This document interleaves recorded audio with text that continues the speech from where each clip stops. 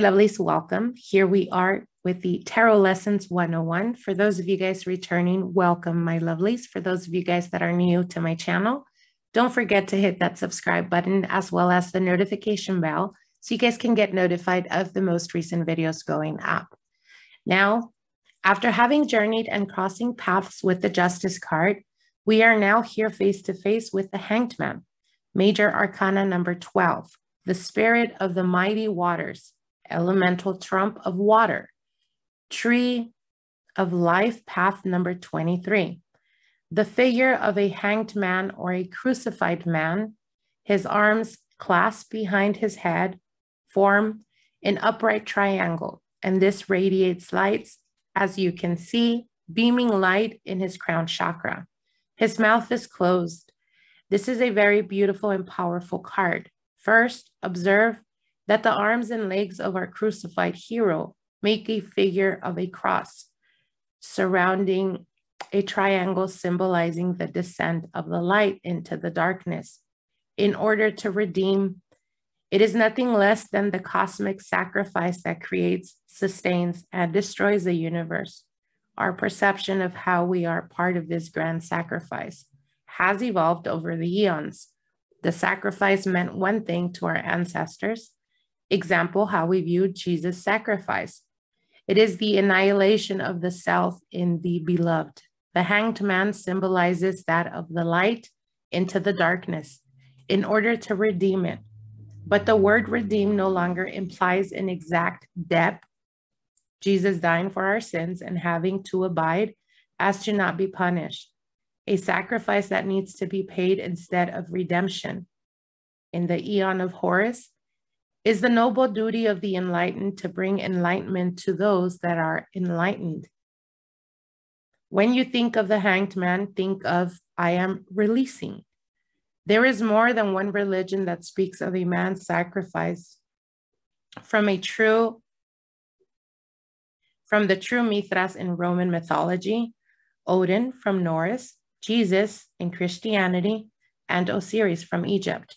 This card is often interpreted as representative of the martyr, as several saints choose to be hung or crucified upside down rather than replicate the manner in which Jesus died. The more accurate word, other than martyr, would be sacrifice. And each of those cases, the self is sacrificed for the sake of humankind. The expression on the man's face is serene, his leg is tight and he looks like he could free himself if he wanted to. He doesn't. He's going into willingly. Remember that surrender is an act of will. It is a choice to unclench one's fist and to hang oneself upside down and stay there. The hanged man is about potential rather than cart or kinetic energy. It's healing, it's becoming prepared to act, Observing this is in the stillness of one who is lazy or afraid. This is the stillness of someone collecting their resources of getting ready to act when the card comes up in a reading. It's about release, about letting go of all perceived control of your life and allowing the lessons to be observed. It's a good time for learning because soon you'll have to let yourself down from the tree and face the new realities that surround him. He is truly suspended in the air and in time. Sometimes, if you don't know what to do, where to go, the best thing to do is just to sit there. Let's say that my client is having a hard time at work, at home, emotionally, physically, with family members, etc. This happens a lot, you guys. It's what we call dogpiling. One bad thing hits you, then another, then another. Next, now you're just covered up in crap, right? I get a lot of calls from people that are struggling like that. They're in the middle of that pile. They never ask about all of the other things that are going wrong at once. They use they usually ask one question. Should I leave my relationship? Should I move or should I get a new job? They are looking for one thing to fix in order to change their whole lives. Sometimes it's hard to see the trees in the forest with your whole life has gone weird, it's very easy to scapegoat a part of your life and make that the problem. I'm unhappy, so I'll leave the relationship and everything will get better. Then they do leave that relationship, but still are unhappy and stuck, except now they're lonely too. Situations like this happen very frequently. Doesn't seem to be a good answer, really. But the one that seems to be the most effective is this sit down, stop moving. You don't have to decide everything in your life right now. The world isn't going to stop spinning, nor will you turn into dust if you just sit down and be still for a damn second. If your life is exploding and all of the fastest flying is around you, you can't see clearly what could actually be an intolerant partner or at work a jerk off who upsets you isn't really a jerk off at the moment. And really you're taking things way too seriously or too personal. That's the thing. Rather than going completely rogue on your life the hangman encourages you to stop to rest to confirm that the decisions we're going to be making is a good decision then you move forward Sometimes it's easier to point in one direction and say, that is the thing. That is what's ruining everything.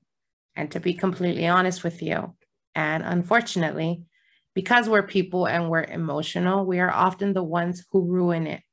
Indecisiveness, inaction, not caring for ourselves properly, or putting our fingers in our ears and saying la la la, and set ourselves up for that dreaded dog pile. Let's try to be a little bit more self aware, more loving towards ourselves.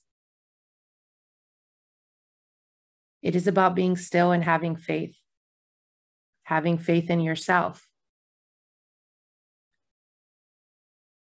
With that still time, have faith in you. Let your mind go to no longer just depend on weak power of personality. What's a happy idea of the true self, of the divine?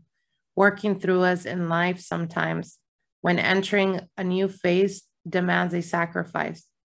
Because nothing comes without a certain death, this card prepares us for the great transition. What's to come next? If you notice the way this card is formed, you will see that his legs from, form you will see that his legs form a cross and his arms and the top of his head form a triangle. A cross above the triangle is the inversion of the symbol of sulfur, which is in alchemy the fiery principle. When it's shown inverted, is a symbol of the completion of the great work of self through transmutation. They pointed out that the word sacrifice means to make sacred. When this card appears, it's time to look at things from a different angle outside of the box. It may be easier said than done. However open minded we like to think of ourselves, we are often blinded by our perspective. We are often blinded by our perspective on things to see it from a different point of view or put ourselves in other shoes. We will be able to see things and a fresh set of eyes. From this new viewpoint, a solution may be found, but also can require a certain self sacrifice, even if it's only to let go of our ideals. Key word for the hanged man is letting go. Decisions, change, meditation, reflection, pause. To gain, one must sometimes have to sacrifice. To open yourself up to others' truths or others' perspectives that give solutions that bring about change. One thing is certain whether the insight is great or small, spiritual or mundane. Once you've seen the hanged man, you will never see things quite in the same way you look at them now. His face, if you look at it, there is no sign of struggle or point or pain. He is surrendering. His halo around his head is a symbol of enlightenment and higher awareness and insight. His legs are a symbol of crossroads. We are stuck, we are at crossroads and at a loss for decision making, which amplifies the message in this card to take no action. Rather, calm yourself and be still, and the answers will come. The ropes around his leg have always been known as a symbol of bondage, binding, and imprisonment. While he is there on his own will, the rope is there to symbolize the struggle against ourselves. The more we move, the tighter the knots become. The more we try to escape it, when we have patience and take time, we can easily figure out how to undo those knots. This is the time for decision making. While taking a pause, the hanged man speaks of willingness and a sacrifice to take short term loss for long term gain. It is about letting go of your immediate circumstance to regroup and reimagine and make a decision based on the new perspective that ultimately is for your greater good. Sometimes we need to let go to allow manifestations to take place. You were given an opportunity to change the direction. So, like in all our series, who does the hangman remind you of? Does it remind you of a movie, character, personality, situation, or someone in your life? The hangman to me reminds me of a certain stage in my life when I had to make a major decision that was essentially going to change my life. Like some of you that have been following us for a long time, I'm sure you've heard this in previous videos. And for those of you guys that don't know, a while back in one of my videos, I had mentioned about the transition that I made from my professional life to doing what I do now. Throughout my life, I had been running away from my spiritual practice and the gifts that I was born with. I essentially was running from responsibility that came hand in hand with my practice and doing what I do. So I decided to go and chase career in my professional life. And I was extremely good at it. I was making very good money. And I'm naturally a fighter and competitor. I flourished in that field, all the while doing what I do on the side, which is practice, read cards, do healings, spell work, etc. Continuously consulting with clients and doing spell work. But I was not fully committed to it. It got to a point where I was being highly favored by my clients, and my clientele started to grow very quickly. All the while in my professional life, I was also flourishing. I began to take on more responsibilities at work, overseeing and representing a chain of dealerships until I got to a point of being extremely burnt out, emotionally, physically, and energetically. I was becoming extremely overwhelmed and stressed because I could no longer keep doing both jobs. I couldn't fully focus because I felt like I was being pulled towards two different directions. I tried as much as I could to manage and juggle. The more demanding it became.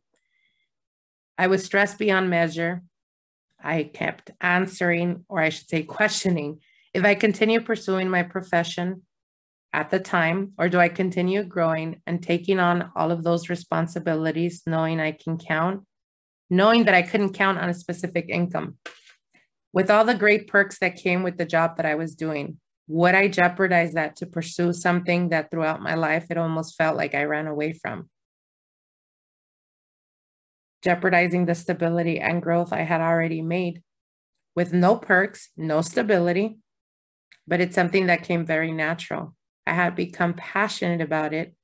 Cannot describe the immense feeling I felt getting feedback from my clients, being able to see someone come to me broken and beaten by life, by the struggles, to seeing them major changes, that their life is transitioning, having a new lease on life, to see their happiness be reflected in their smile. Yep, the hanged man comes to mind in that moment and point. The doubts sometimes can become so overjarring. I have been pursuing for a very long time, wanting to go up the ladder, working extremely hard. I took a step back. I meditated on it. I asked my guides that I would completely surrender that I will no longer fight, that I will put my hands up in the air and tell the universe, bring it, whatever path is meant or I'm meant to walk on. Let it be shine, let it be bright. and I will put my fears and doubts aside and make the decision and choice if it feels true to my heart. I did exactly that. I felt this immense energy of clarity that came over me, a little voice that said, We've been waiting. My heart started to beat so fast because right then and there, I knew exactly what I needed to do. Though I was unsure of the outcome, I'm going to do what I love to do, what I have become passionate about. There's no failing because if I love it, I'm going to do everything in my power to make it happen, sink or swim, like I learned in law school. I'm going to swim. The very next day, I walked into work and gave my two weeks' notice, taking on more clients and completely submerged myself in the practice. And I never looked back. Of course, it comes with the sacrifice, like the hanged man. At first, it was difficult. It was unsteady, literally got to the point of losing my car, ran through my savings like no one's business. But after getting to the point of losing it all, I was blessed to gain it all back times three. I wasn't focused on the current situation. I was focused on what outcome I wanted. And that's what I focused on. It's kind of like letting the bridges that must burn, burn to the ground without hesitation, in complete faith and surrendering. That's the hanged man. It's complete letting go, even if you're scared, even if you're unsure. It is trusting the process. Well, my lovelies, I hope that this gives you a much better understanding of the hanged man. As always, it's been a pleasure taking this ride with all of you. Until next time, bye bye.